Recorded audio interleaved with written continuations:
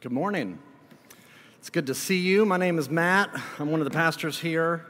And uh, I know that for some of y'all that took advantage of our, of our nursery uh, this morning, y'all are feeling really great. I've had two different families tell me when they dropped off their kids at nursery that they almost went to brunch instead of coming here. And you know who you are who said that? So, if you are here, I'm glad that you're here. If you would rather be at brunch, uh, if you are uh, joining us from a place of joy or sorrow, wherever you find yourself this morning, we're glad that you're here. Thanks for joining us. Welcome to Redeemer. Uh, what is Redeemer? Well, Redeemer is a church. And what that means is we're a community of people and we're trying to learn how to love God and we're trying to learn how to love our neighbor. And the way that we go about trying to do that is we gather together each Sunday so that we can worship God, Father, Son, and Holy Spirit, so that we might be able to rest in His love that He has for us. And we also get together throughout the week, individually and over small groups. We hang out together, we bake together, we get our vaccines together, and we, we try to remind one another of His great love for us. And as we rest and we remind, we delight to spread throughout Midtown here in Memphis so that we can reflect his love to our neighbors. We, we dream of seeing our city flourishing anew through the redemptive love of Jesus. And so it's a little bit about who we are. We're a community of people. We're trying to learn how to love God and love our neighbor as we rest and remind and reflect his love here in Midtown. And uh, what we've been doing throughout this season of Epiphany, and, and now kind of as we're finishing up Lent, we've been looking through this book in the New Testament called First Peter, and here we are at the very end. We've made it. And uh, there, there's so much that's packed into this final chapter, but I want to highlight what I really see is kind of the main theme of this final chapter, which is Peter's call for us to embody this posture of humility, to embody a posture of humility. And really, I think humility is kind of, uh, everybody's talking about humility these days. Um, David Brooks, who is a, an author, New York Times columnist, uh, I found out this week teaches a course on humility at Yale, which is kind of fascinating. Malcolm Gladwell uh, has spoken at length about how humility, the role that humility plays in leadership.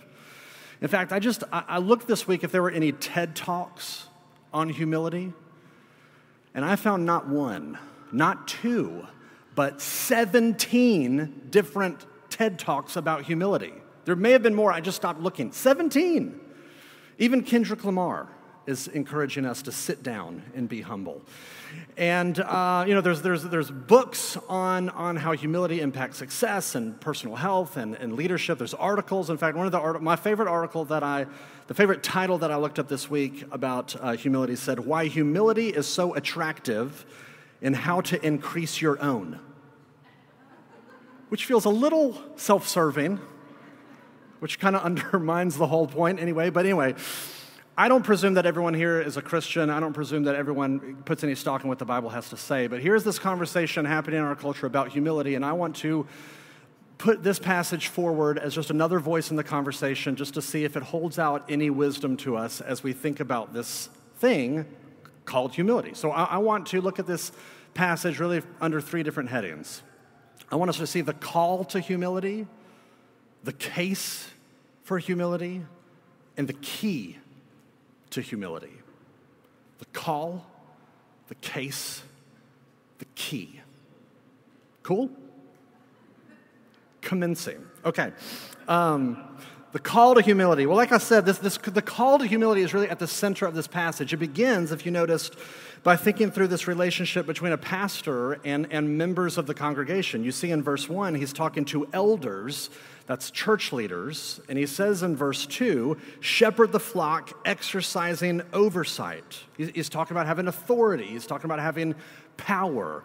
What does it look like to have power and authority in the church and in the kingdom? Well, look at verse 3. He, he elaborates and he says, Not domineering over those in your charge, but being examples to the flock. He's saying just because you might happen to be at the top of the, the org chart doesn't mean you get to be a tyrant. You know, when, when you and I typically think of somebody in power, um, we may think of the, like the character that Meryl Streep plays in, in Devil Wears Prada. You know, just this no nonsense, my way or the highway kind of boss, bulldozing everybody. I get to call the shots. And what Peter is doing here is he's saying that's not what authority looks like in the church specifically, and it's not what authority and power looks like in the kingdom in generally. It does not look like lording over, domineering over people. It, it looks like being examples, representing our servant king, Jesus. And then he talks to members. In fact, if, if you look at verse 5, he says, You who are younger, probably meaning younger members of the congregation, what, what are you supposed to do? He says, Be subject to the elders, meaning don't puff up your chest and be stubborn and resistant and obstinate and recalcitrant. He's saying, defer, yield, submit, be subject. In other words, have humility. In fact, he looks at everybody in this final verse and he kind of wraps it all up. Verse 5 uh, clothe yourselves, all of you, with humility toward one another. That's the big idea. All of you, all of us, clothe yourselves with humility toward one another. Notice he's not just talking about having a humble disposition, although that's important, that's great, but he's talking about social dynamics. He's talking about how we relate to one another, have humility toward one another. What does that mean? What does that look like? Well, Thomas Howard, who is this uh, Catholic author, he made the point. He says, if you think about it, there are really only two different ways to live. You make every decision that you make every single day based off of one of two different operating systems that is at work in your soul in that moment. And these two different principles that he explains are these very simply, my life for yours, or your life, my life for me. That's it. My life for yours, or my life for me. My life for yours means I, I, elevate your needs and your priorities over mine. I'm willing to defer to my comfort, my convenience for your sake. My life for me, I elevate my needs over you, my comfort, my convenience over you. And every decision that we make every single day gets based on one of these two different operating systems. What does that look like? If you take it out of abstract land and you bring it into real life, here's what that looks like. Uh, here's a couple silly examples. Uh, you know, in our neighborhood, um, you know, we, wa- we walk with our kids a lot, walk as a family, walk to school, and if there's a, you know, we're walking on the sidewalk, if there's another family or another person on the same sidewalk walking towards us, there's a little bit of a situation, especially in COVID land where we've got to space out. There's not enough room on the sidewalk for both of us to walk. So who's going to defer? Who's going to step into the street and let the other person by? Who's going to have humility toward the other? Or here's another example. You're um, in, in, the car waiting on you know, the highway or whatever, and you're, you're, you're in the long line of cars, and here, here comes the car up beside you with the blinker on trying to get in your lane. Do you let them into your lane? Or do you scooch up inches away from the car in front of you? Don't budge, don't let them in, don't let them in. Or here's another example. You're at, you're at the uh, grocery store, you're, and you're waiting in the checkout aisle, and you're up next to, to, to go and you're looking at your cart and you have 7,000 items in your cart and you look at the guy behind you who's got a banana. Do you let them in front of you? I mean, you were there first. You have every right to go forward, but whose needs gets prioritized in that moment? I realize these are, these are small, silly examples. My point is, all of these small decisions that you're making, a thousand of them every single day, is based off of is it my life for yours or my life for me? And I will say this I wish I had more time to talk about this, but I do want to say there is a tension here because your needs do matter. You, you are limited, you have boundaries. In fact, if you were in the car on the way to the hospital and the person next to you is pregnant and they're in labor, maybe you don't defer. Maybe you, your needs actually matter more in that moment. My point is the call to humility my life for yours, my life for me. Which one do you trend towards? Peter is calling us to trend in this direction. To say more and more, how can I give? How can I make space? How, how, how can I defer? How, how, can I allow other people to cut into my comfort, my, call, my, my convenience? How can I elevate their needs over mine? That's this call to humility. But secondly, what is the case for this? In other words, why should we do this? Because this is really hard. And uh, some people would say this is actually dangerous. I mean, if you're always deferring, always giving up for other people, it's just going to make you weak, spineless. You're just going to be a doormat. What is the case? Well, here's the reason that Peter gives for why we should do this. Uh, verse 5, again, he says at the end, For, meaning here's the reason, why should you do this? For God opposes the proud but gives grace to the humble. That is an amazing verse. God opposes pride, the proud. That is strong language. This is saying if you want to assert yourself, I call the shots, I don't defer to anybody, I want to be first, me. Peter is saying, in the end, you will be opposed by God Himself. If you want to puff yourself up, in the end, God will bring you down. And consequently, if you are brought down, if you are willing to make yourself low, in the end, you will be lifted up. You will receive His grace. There's this principle of reversal here that if you are determined to make yourself big, God will make you small. And if you are willing to be made small, in the end, God will make you big. Peter reinforces this idea in verse 6. He elaborates, he says, Humble yourselves, therefore, under the mighty hand of God, so that at the proper time he may exalt you. Peter's tapping into this idea, what some people have called the upside down nature of the kingdom that the way up is the way down, and the way down is actually the way up. This is why Jesus is all the time saying, Those who exalt themselves will be humbled, and those who humble themselves will be exalted. The first will be last, the last will be first. If you want to seek your life, you will lose it. If you lose your life, you will find it. You know, as I mentioned ago, Thomas Howard, who I mentioned, um, wrote this great book called Splendor in the Ordinary. And I heard Tim Keller reference uh, a passage from this book in, in, a sermon that I, that I included in your bulletin. I want, I want to, and I got a lot of help from him under this particular point, but I want to, um, I want to read you this excerpt from this Thomas Howard book. Here's what he says. He says, No child has ever received life except through the laying down of the mother's life in bearing and nourishing him. And somebody has to lay down his or her life to care for and train and provide for children year after year. We live only because someone else has lived by this principle. In other words, here's what he's saying the only reason any of us are ever, the, the only reason any of us are here is because we had parents that were willing to sacrifice, give their, their time, their money, their sleep. See, this is just the, this is, this is how it works. If a child is going to thrive in this life, then a parent has to give up their, their sleep, their, their comfort, their money. But if a parent says, I'm, I'm unwilling to do that, I want to hold on to my way of life, I'm not willing to sacrifice my comfort, my habits, my hobbies, my convenience, then the child suffers. The child pays for it. Either the parent sacrifices so that the child has life, or the child gets sacrificed so that the parent has life. That's just how reality works. Life only happens when somebody dies, when somebody's willing to give of themselves. Quote, he keeps going, Thomas Howard keeps going. He says, quote, this laying down of life always entails a death. It is death, in effect, to my 10 minutes when I give them over to help you get something done. It's death to your privilege if you let someone else in urgent need cut into line in front of you.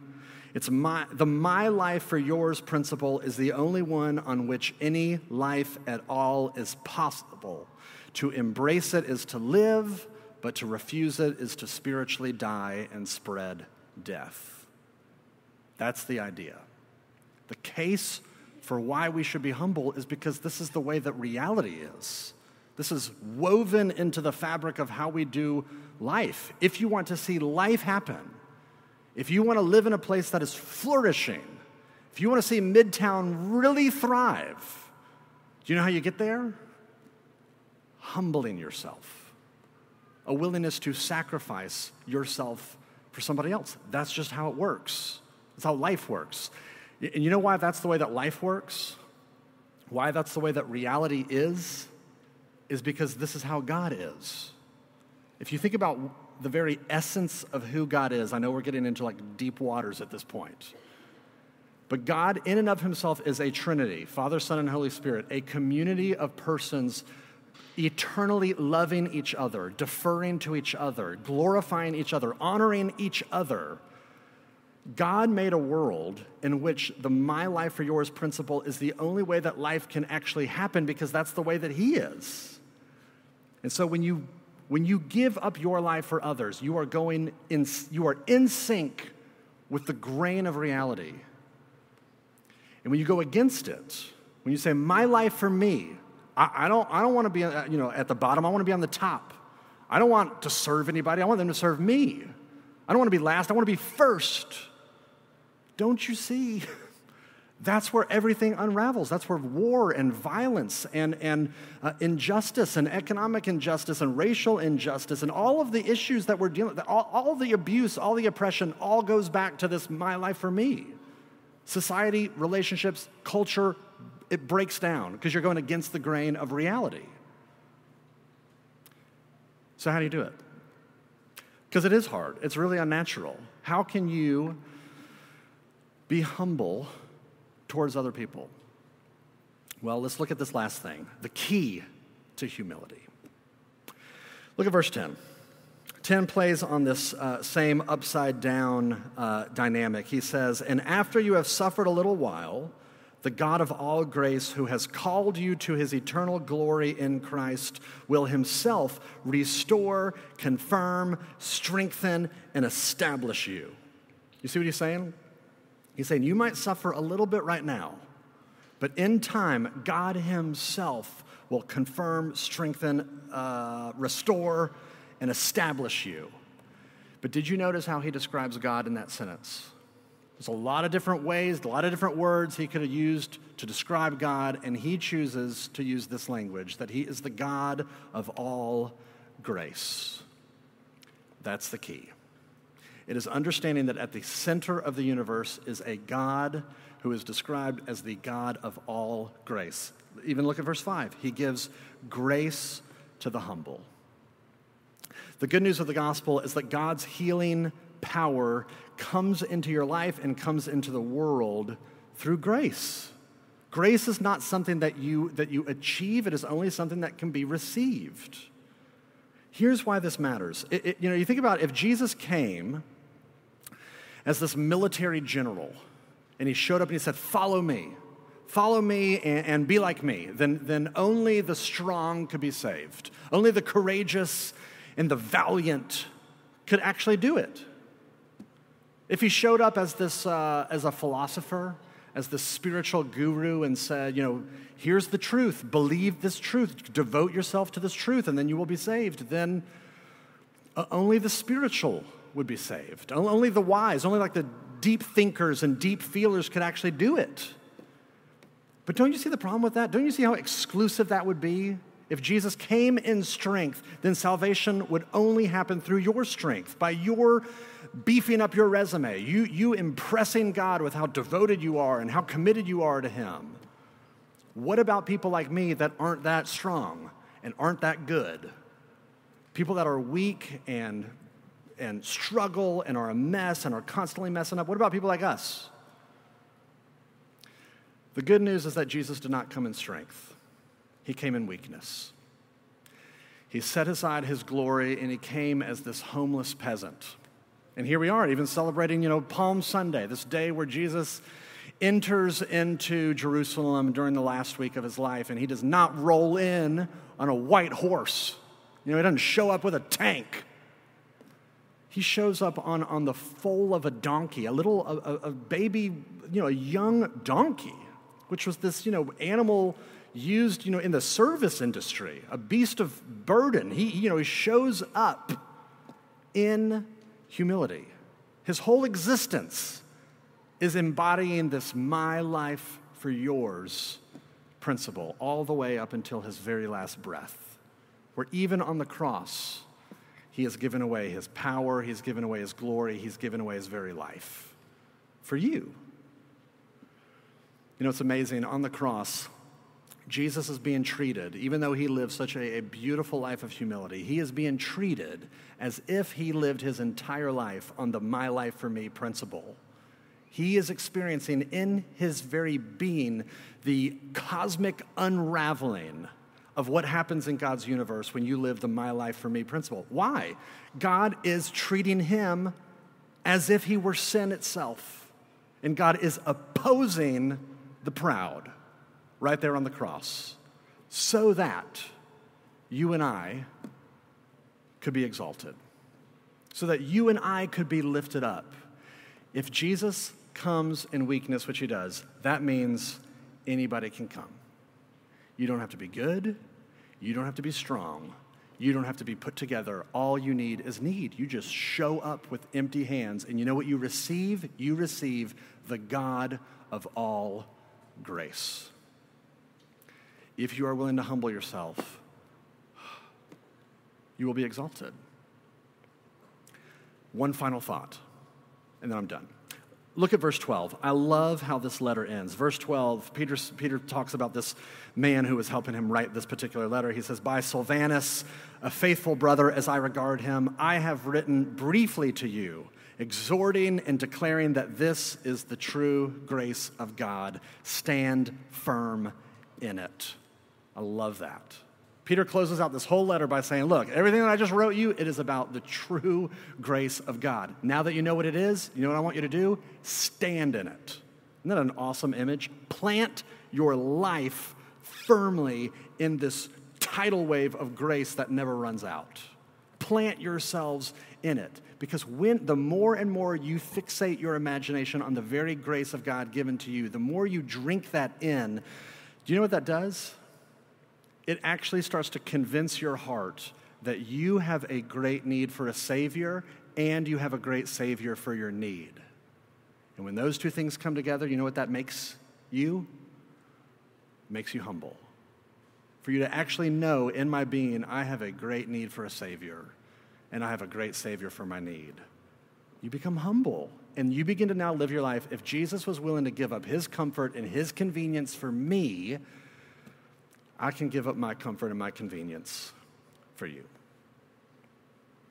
Humble yourselves, therefore, under the mighty hand of God, so that at the proper time he may exalt you. Consider that an invitation for you this morning. Let me pray. Father, thank you that you were willing to come in humility and in weakness so that anybody could connect with you anybody, no matter how messed up, how much we struggle, how deeply entrenched our, our pride actually is, that if we just show up with need, you will receive us. I pray that that would humble all of us, that it would decimate our pride in deeper and newer ways, that we would become this winsome, confident, gracious, humble community, willing to give of ourselves and our resources and our time for the sake of others. We pray all this in Jesus' name. Amen.